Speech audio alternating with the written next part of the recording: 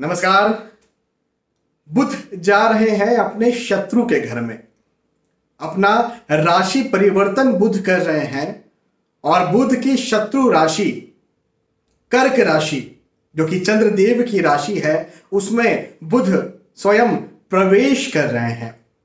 अब प्रश्न ये आता है कि बुध जब अपनी शत्रु राशि, कर्क राशि में प्रवेश करेंगे तो क्या फल लेकर के आएँगे?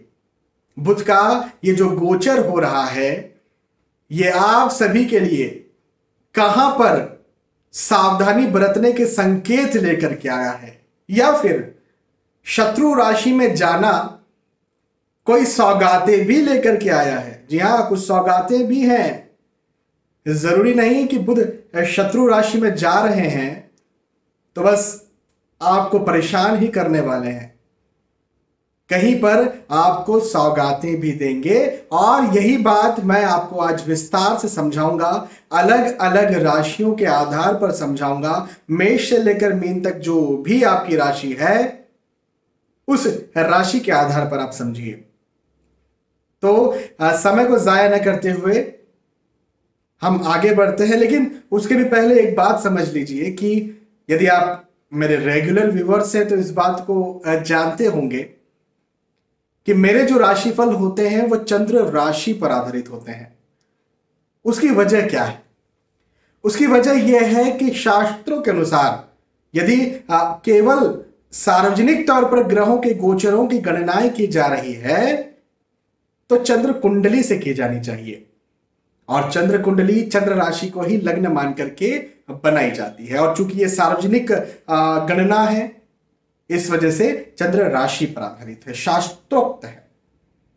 अब आगे बढ़ते हैं और सबसे पहले मेष राशि के बारे में बात करते हैं। यदि आपकी राशि मेष है तो भाई बुध देव का शत्रु राशि में जाना बुध देव का कर्क राशि में जाना, आपके भी शत्रुओं का निर्माण करवाएगा। जैसे बुध और चंद्र एक दूसरे के शत्रु हैं, शत्रुता निभाते हैं तो आपको भी लगेगा कि मेरे जीवन में शत्रुओं का निर्माण हो रहा है। हिडन एनिमीज या तो निर्मित हो रहे हैं, गुप्त शत्रु निर्मित हो रहे हैं, या फिर डायरेक्ट एनिमीज निर्मित हो रहे हैं, या मेरी बातों को गलत लिया जा रहा है, मैं बोल कुछ रहा हूँ और समझा कुछ और जा रहा है। तो ऐसी स्थितियों का निर्माण हो सकता है, आपको ये लग सकता है। अच्छा ऐसा ऐसा भी हो सकता है कि वाद विवाद बने। हाँ मतभेद बने, वाद विवाद बने। तो ऐसी स्थितियाँ, ऐसे हालात भी निर्मित हो सकते हैं। इस बात का जरा आप ध्यान रखें। मेहनत बढ़ने वाली है। आपको ये लग सकता है, यार, पहले जो कम मेहनत थी, अब मेहनत मेरी बढ़ चुकी है। और हो सकता है कि उसके बदले में उतना मिल नहीं रहा है। तो ऐसी स्थितियाँ भी निर्मित हो सकती है। मेहनत ज़्यादा करना भाग दौड़ ज़्यादा होना और उसकी वजह से तनाव की स्थिति भी ज़्यादा बनना मुझे यहाँ पर नज़र आता है। तो आपके लिए मेष राशि के लिए कहना चाहूँगा, हालाँकि बुद्ध देव जो है, वो मेष राशि के भी शत्रु ग्रह है और कर्क राशि जिसमें बुद्ध देव प्रवेश कर रहे हैं, उनके भी शत्रु ग्रह है। तो बुद्ध देव मेष राशि के लिए बिल्कुल भी सौगात लेकर के तो नहीं आए हैं। कहीं ना कहीं तनाव, चिंता या मतभेद मन मुटाव या भागदौड़ लेकर के आए हैं। घबराने की ज़रूरत नहीं है। उतार चढ़ाव हर किसी के जीवन में आते रहता है। आप, ये बुद्ध देवता यहाँ से निकल जाएँगे और उसके बाद में फिर जब अच्छे होंगे तो निसंदेह आपको उसके अच्छे फल भी मिलेंगे। तो चिंता नहीं करना। मेष के बाद वृषभ राशि की भाग दौड़, वृषभ राशि की बात करें तो भाग दौड़ के मुझे यहाँ पर योग दिखते हैं। भाग दौड़ ज़्यादा बनेगी, मेहनत ज़्यादा बनेगी। जैसे अभी मैंने मेष राशि के लिए बताया कि भाई बहुत ज़्यादा मेहनत करना पड़ेगी, बहुत ज़्यादा भागदौड़ करना पड़ेगी, और उसके बदले में नहीं मिलेगा, ऐसा मैंने मेष राशि के लिए कहा था। लेकिन वृषभ राशि के लिए मैं एक बात ज़रूर कहूँगा कि भाग दौड़ करना पड़ेगी, मेहनत ज़्यादा करना पड़ेगी, हो सकता है आप परेशान हो जाए अपनी भाग दौड़ से, मेहनत से। लेकिन अच्छी बात पता है क्या है? अच्छी बात यह है कि बदले में आपको मिलेगा अभी। आपके भाग्य में बढ़ोतरी भी होगी, आप जो मेहनत करेंगे, उसका आपको लाभ मिलेगा। तो ये एक बहुत अच्छी बात मुझे बनती हुई नज़र आती है। देखिए, किसी भी क्षेत्र में, चाहे आप नौकरी करते हो, चाहे आप व्यवसाय करते हो, चाहे आप पढ़ाई करते हो, स्टूडेंट हो, चाहे आप गृहिणी हो, चाहे समाज सेवी हो, चाहे राजनीति में हो और जो भी जिस भी उद्देश्य से आप कार्य कर रहे हैं उन सारे कार्यों में आपको भागदौड़ मेहनत लगेगी, लेकिन उसके बाद में एंड ऑफ़ द डे या लास्ट में आपको आपके काम में सक्सेस भी दिख जाएगी। तो चिंता करने की कोई भी बात नहीं है। हाँ मेहनत करिए और सफल बनिए, केवल इतना सा मंत्र आपके लिए। वृषभ के बाद मिथुन राशि की बात करते हैं। भाई, मिथुन राशि, जो बुद्ध देव की राशि है और बुद्ध देव ही शत्रु राशि में जा रहे हैं, लेकिन यहाँ पर बात देखिए कि भाई मिथुन राशि के लिए तो बुद्ध देव का राशि परिवर्तन बहुत अच्छा होने वाला है। जी हाँ बहुत अच्छा होने वाला है। धन में वृद्धि करवाने वाला है। चाहे नौकरी करते हो, चाहे व्यवसाय करते हो, चाहे प्रोफेशनल हो, चाहे पारिवारिक तौर पर कहीं जायदाद को लेकर के वाद विवाद चल रहा हो। मुझे यहाँ पर आपके धन में, आय में बढ़ोतरी जायदाद में बढ़ोतरी के योग बनते हुए नज़र आते हैं। उन्नति के योग बनते हुए नज़र आते हैं। आप यदि कहीं नौकरी भी कर रहे हैं तो आपको या तो इंक्रीमेंट मिले, या आप, आपका एक लेवल अप हो जाए, जिसे हम पदोन्नति कहते हैं प्रमोशन कहते हैं, ये आपका हो जाए तो ऐसा भी मुझे दिखता है। आपकी जो एट्रैक्टिवनेस है ना दूसरों को प्रभावित करने की क्षमता वो बढ़ने वाली है। आप दूसरों को बहुत अच्छी तरह से प्रभावित कर पाएँगे। और खास तौर पर यह वक्त उन लोगों के लिए ज़्यादा अच्छा है जो कहीं इंटरव्यू देने जा रहे हैं। या जिनका रिश्ता इस समय तय हो रहा है। जहाँ जहाँ पर दूसरों को प्रभावित करने की बात आ रही है। तो दूसरों को जल्दी से प्रभावित करेंगे तो निसंदेह आपका वहाँ पर सिलेक्शन हो जाएगा या उस कार्य में आपको सफलता देखने को मिल जाएगी। तो मिथुन राशि के लिए तो बहुत अच्छा है। मिथुन के बाद कर्क राशि की बात करते हैं, भाई, कर्क राशि में ही बुद्ध देव आ रहे हैं। इसी राशि में तो बुद्ध देव का राशि परिवर्तन हो रहा है। तो कर्क राशि में बुद्ध प्रवेश करने के बाद स्थानांतरण, ट्रांसफ़र और यात्राओं के योग बनाएँगे। भाग दौड़ ज़्यादा लग सकती है। यात्राएँ आपको ऐसा लग सकता है कि ज़्यादा हो रही है। थोड़ा एक मेंटल अनस्टेबिलिटी भी आपको लग सकती है। आपको यह लग सकता है कि यार चीज़ें उतनी फेवरेबल नहीं जा रही हैं जितनी जानी चाहिए। थोड़ा एक कंफ्यूजिंग स्टेट एक डायलेमा का स्टेट दो मन, तीन मन एक साथ होना, या चीज़ें समझ ना आना, उतना इजी ऐसा लग सकता है। चिंता ना करें। लॉन्ग टर्म की चिंता नहीं है। बुद्धदेव जो है, वो राशि परिवर्तन कर रहे हैं 25 तारीख को। और जब 8 तारीख तक बुद्धदेव रहेंगे तो ये 25 तारीख से 8 अगस्त 25 जुलाई से 8 अगस्त तक का ही ये समस्या है। उसके अलावा कोई बड़ी दिक्कत की बात नहीं है। कर्क राशि के बाद सिंह, राशि की बात करें तो खर्च के योग मुझे यहाँ पर ज़्यादा बनते हुए नज़र आते हैं। खर्च के योग भी हैं और रिस्की इन्वेस्टमेंट इस बीच में आपको बिल्कुल भी नहीं करना है। रिस्की इन्वेस्टमेंट बिल्कुल ना करें। और यदि रिस्की इन्वेस्टमेंट करते हैं तो लॉस हो जाएगा, ऐसे योग भी मुझे बनते हुए नज़र आ रहे हैं। हाँ किसी को पैसा उधार दिया तो वो लॉस हुआ, ऐसा भी हो सकता है। या या फिर कहीं पर पीसी से पैसा उधार लिया तो वो देने में दिक्कत आई, ऐसा भी हो सकता है।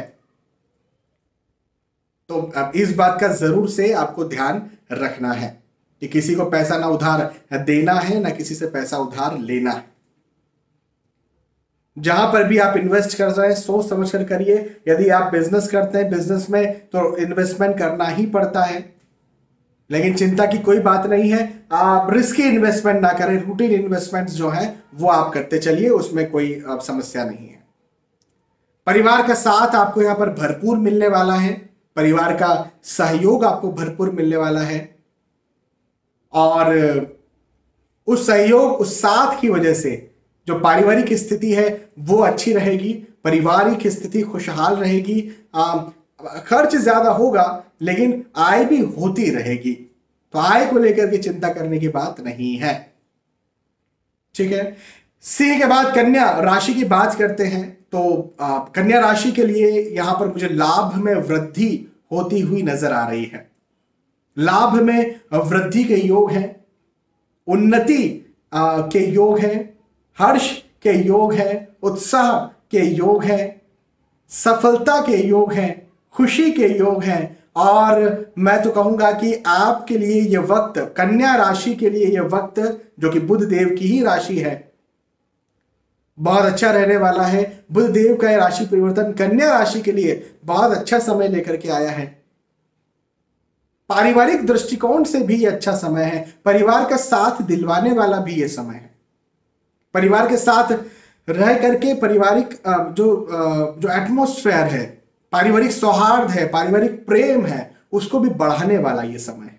तो मैं आपके लिए समय को अच्छा कहूँगा। कन्या के बाद तुला राशि की बात करते हैं। भाई, तुला राशि के लिए भी बुध देव का राशि परिवर्तन, जो कि 25 जुलाई से 8 अगस्त तक का हो रहा है। 25 जुलाई को बुध देव अपना राशि परिवर्तन करेंगे। तो तुला राशि वाले जातक की प्रतिष्ठा में वृद्धि, ये बुद्धदेव करने वाले हैं।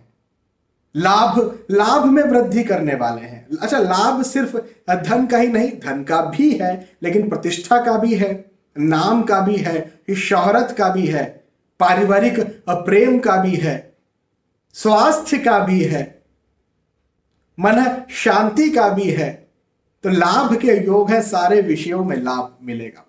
अब मैंने बता ही दिया है धन वृद्धि के योग है लेकिन स्पेशली यदि आप बिज़नेस करते हैं तो बिज़नेस में भी धन में वृद्धि के योग यहाँ पर आम, बहुत अच्छे बनते हुए नज़र आ रहे हैं। हालाँकि नौकरी और नौकरी और प्रोफेशन में भी है लेकिन खास तौर पर यदि आप बिज़नेस करते हैं तो ज़्यादा अच्छे योग मुझे बनते हुए नज़र आ रहे हैं।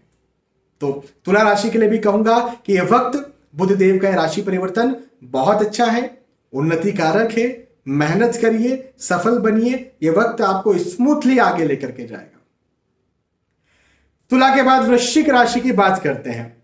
भाई 25 जुलाई 2021 को बुधदेव अपना राशि परिवर्तन कर रहे हैं, कर्क राशि में। और वृश्चिक राशि के लिए यह बुधदेव 25 जुलाई से 8 अगस्त तक धन में वृद्धि करने वाले हैं।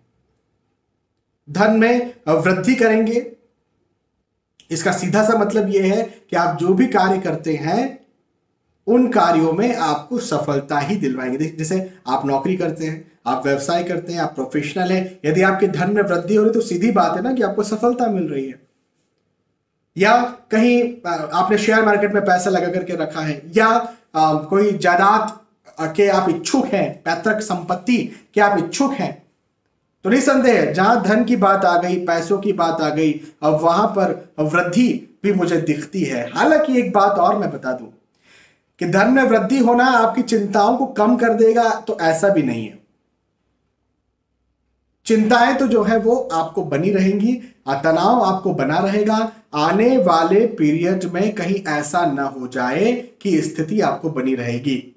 तो इस चीज़ से आपको जरा सावधानी बरतना है या दूरी बरतना है? क्योंकि प्रैक्टिकली मुझे यहाँ पर आपके लिए ये वक्त बुद्धदेव का राशि परिवर्तन अच्छा दिख रहा है। लेकिन मेंटली कहीं ना कहीं आपके स्वास्थ्य को खराब करता हुआ नज़र आ रहा है और इसकी वजह से कहीं ना कहीं पारिवारिक स्थितियाँ भी खराब हो सकती हैं, मतभेद, मनभेद की स्थितियाँ भी बन सकती हैं। तो इस बात का भी आपको जरा ध्यान रखने की ज़रूरत है। ठीक है? वृश्चिक राशि के बाद धनु राशि की बात करते हैं। 25 जुलाई से लेकर 8 अगस्त तक ये जो बुद्ध देव अपना राशि परिवर्तन कर रहे हैं, कर्क राशि में तो धनु राशि के लिए एक सलाह तो ये रहेगी कि वाणी को संभल कर इस्तेमाल करें, संभल कर बोलें। देखिए ये वक्त जो है, यदि आप कुछ कहते हैं तो हो सकता है आपकी बात को गलत ले लिया जाए। या यह भी हो सकता है कि आप गलत बोल जाए। दोनों ही बातें हो सकती है। तो दोनों बातें यहाँ पर मुझे चांसेस बनते हुए, बढ़ते हुए नज़र आ रहे हैं। तो इस बात का जरा ध्यान रखें। चिंता के योग भी बन रहे हैं, तनाव के बढ़ने के योग भी बन रहे हैं। हालाँकि आर्थिक स्थिति अच्छी रहेगी। नौकरी करते हैं, व्यवसाय करते हैं, आप बिज़नेस करते हैं, आप प्रोफेशन में हैं धन के दृष्टिकोण से, धन के लिए यदि बात करें, आर्थिक स्थिति की बात करें तो अच्छा रहेगा वक्त। लेकिन आपकी बातों को गलत लेकर के फिर वाद विवाद की स्थिति बने, ऐसा मुझे दिखता है तो केवल आपको इस बात का ध्यान रखना है। और जब बातों को गलत लिया जाएगा, मैं कह रहा हूँ तो कहीं ना कहीं पारिवारिक मतभेद होकर के पारिवारिक माहौल जो है, वो खराब हो सकता है। तो इस बात का आपको जरा ध्यान रखना है। ठीक है? धनु राशि के बाद मकर राशि की बात करें तो 25 जुलाई को ये जो बुधदेव कर्क राशि में प्रवेश कर रहे हैं 8 अगस्त तक जो कि रहने वाले हैं, ये आपके पार्टनर से आपको लाभ करवाएँगे। खास तौर पर यदि आपके बिज़नेस पार्टनर आप बिज़नेस करते हैं, उसमें कोई आपके पार्टनर है, कोई कोई आपके सहायक हैं, उनसे आपको लाभ करवाएँगे। नहीं भी नहीं भी कोई पार्टनर है तो आपके आपके अंडर में काम करने वाले जो कर्मचारी हैं, उनसे आपको लाभ करवाएँगे। आपकी, आपके लिए एक बहुत ही स्पष्ट, बहुत ही ज़्यादा महत्वपूर्ण एक सलाह ये कि आपके जो लाइफ पार्टनर है, इस समय उनसे आपको राय ज़रूर लेना चाहिए। आपके लाइफ पार्टनर अपनी पत्नी या पति से आप राय ज़रूर लें, क्योंकि उनका राय, उनका मशवरा, उनका गाइडेंस आपको आगे आप यदि पुरुष है अपनी पत्नी से राय लें आप यदि महिला है अपने पति से राय लें यदि आप मैरिड हैं तो। और यदि मैरिड नहीं है तो आपको लगता है कि कोई मेरे आ, कोई बेस्ट फ्रेंड है मेरा। बेस्ट फ्रेंड हो ना ऐसा नहीं चलते बढ़ते हाई बाई जिनसे होती है। मैं उनसे राय लेने की बात नहीं कर रहा हूँ हर किसी से राय लेनी भी नहीं चाहिए। लेकिन जो बेस्ट फ्रेंड है सच्चे मित्र उनसे ज़रूर से आप राय लें उनकी भी राय आपको फलेगी। आपको क्या करना चाहिए, क्या नहीं करना चाहिए, जरा यदि कहीं आपको कंफ्यूजन है तो उनसे आप पूछें। हालाँकि आर्थिक स्थिति मकर राशि के लिए मुझे अच्छी बनती हुई नज़र आती है, मज़बूत बनती हुई नज़र आती है। उन्नति कारक ये वक्त मकर राशि के लिए रहेगा और खासतौर पर स्वास्थ्य के दृष्टिकोण से भी ये वक्त अच्छा रहेगा। तो कोई चिंता की बात नहीं है। मकर के बाद कुंभ राशि की बात करते हैं। 25 जुलाई को बुधदेव जो अपना राशि परिवर्तन कर रहे हैं ये आ, आपके स्वास्थ्य में कहीं ना कहीं गड़बड़ी कर सकते हैं। अपने शारीरिक स्वास्थ्य का ध्यान रखने की आपको ज़्यादा ज़रूरत है। हाँ अपने शारीरिक स्वास्थ्य का ध्यान रखें। हालाँकि परिवार का साथ आपको भरपूर मिलेगा। पारिवारिक स्थिति आपकी बहुत अच्छी रहने वाली है। आर्थिक स्थिति भी अच्छी रहने वाली है। और खास तौर पर यदि आप स्टूडेंट हैं तो स्टूडेंट्स के लिए भी यह वक्त, यह दौर अच्छा रहने वाला है कई नई अपॉर्चुनिटीज़ ओपन करने वाला है, या आप कुछ किसी भी लक्ष्य को लेकर के, कोई योजना को लेकर के आगे बढ़ रहे हैं तो उसमें आपको सफलता दिलवाने वाला है। तो सारी चीज़ें बहुत अच्छी है। शारीरिक स्वास्थ्य की गड़बड़ी मुझे यहाँ पर बनती हुई नज़र आ रही है। तो आप शारीरिक स्वास्थ्य का ध्यान रखें। 25 जुलाई जब बुद्धदेव अपना राशि परिवर्तन कर रहे हैं 25 जुलाई से लेकर के 8 अगस्त तक, जब तक बुद्धदेव कर्क राशि में है, तब तक। ठीक है? और कुंभ के बाद फाइनली बात करेंगे मीन राशि की। मीन राशि के लिए भाई 25 जुलाई बुधदेव अपना राशि परिवर्तन कर रहे हैं। कर्क राशि में और मीन राशि के लिए अच्छा ये राशि परिवर्तन होगा। सौगातों से भरा हुआ ये राशि परिवर्तन होगा। लाभ करवाने वाला ये राशि परिवर्तन होगा। खास तौर पर आपके डिसीज़न मेकिंग पावर को स्ट्रांग करने वाला यह राशि परिवर्तन होगा। आप जो सोच रहे हैं, जो योजनाएँ आपने बनाई है, जिस रास्ते पर आप चलना चाहते हैं, उस रास्ते पर, उस योजना पर, उस सोच पर उस प्लानिंग पर आपको कामयाब करने वाला यह राशि परिवर्तन होगा। मैं आपको आर्थिक दृष्टिकोण से भी इस वक्त अच्छा देखता हूँ, शारीरिक स्वास्थ्य के दृष्टिकोण से भी अच्छा देखता हूँ, मानसिक स्वास्थ्य के भाई डिसीज़न मेकिंग पावर अच्छा कब होगा? जब मानसिक तौर पर आप मज़बूत होंगे तो मानसिक स्वास्थ्य के दृष्टिकोण से भी आपको अच्छा देखता हूँ, पारिवारिक तौर पर भी आपको, पारिवारिक माहौल के तौर पर भी अच्छा देखता हूँ। ओवरऑल ओवरऑल मीन राशि के लिए बुद्ध देव का राशि परिवर्तन बहुत अच्छा होने वाला है, चिंता की कोई भी बात नहीं है।